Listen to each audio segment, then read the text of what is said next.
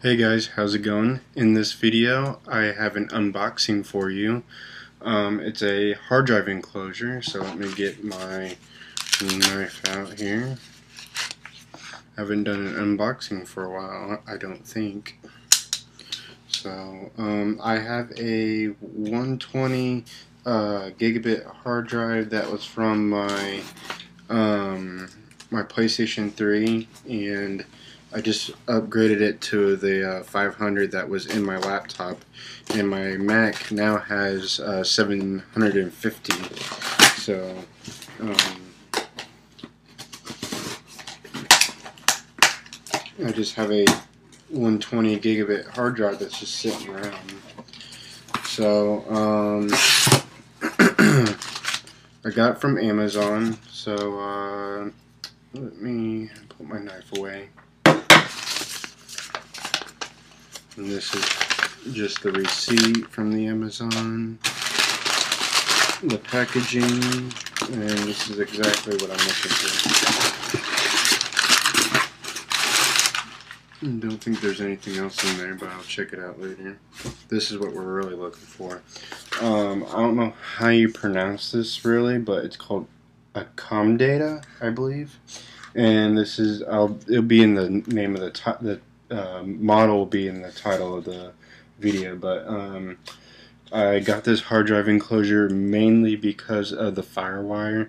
Um, there was some reviews of some people saying the fire wasn't working, but for the price, I honestly could not. Um, I couldn't. I couldn't say no to it. So um, I think it was like maybe 50 bucks if that for the hard drive enclosure.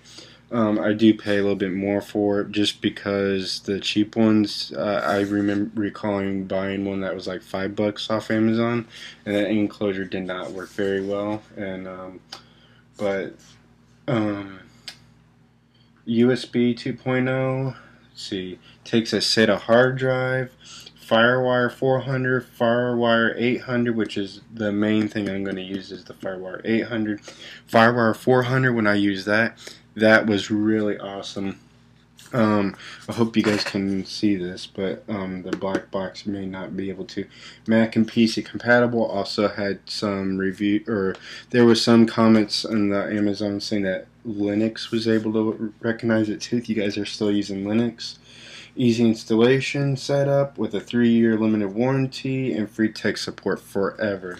So, um, from what I was told, uh, there's some people on there said it was really good and then other people said it was bad but either way I'm still gonna do a review on it this is just the unboxing and I'm probably gonna make it um, a, a two like video like um, two in one like a, the unboxing and the review both in it so um, I still need to unbox the rest of it um,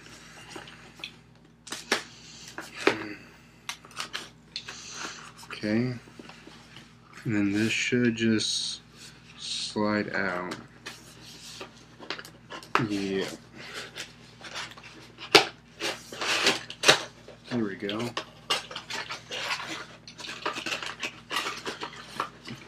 Oh, another good thing is like I forgot to tell you guys that um, this does come with the cables. So um, you don't have to buy the cables or anything like that. It comes with it. And here it is. It's very light. Um, casing it could be better. Um, it's kind of what I expected to look like. Um, the logos on the side can barely see it. Um, here is really what we're looking for right there. I hope you guys can see that. This right here is the FireWire 800 port. This is the 400 and this is uh, the USB 2.0 and then this is the uh, AC, I think that's the AC power but it should not require it especially since I'm using it for the FireWire the USB 2.0 might need it but it, from what some people told me it doesn't really require power so um, let me move some of this stuff out of the way like I said Firewire 800 cable. another, ooh, a 400 cable as well. Sweet.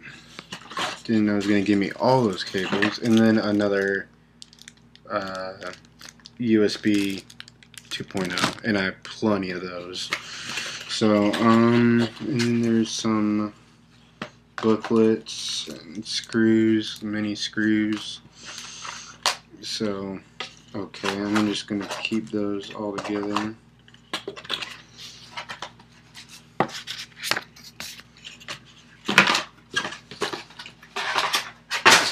Okay, so screws, booklets,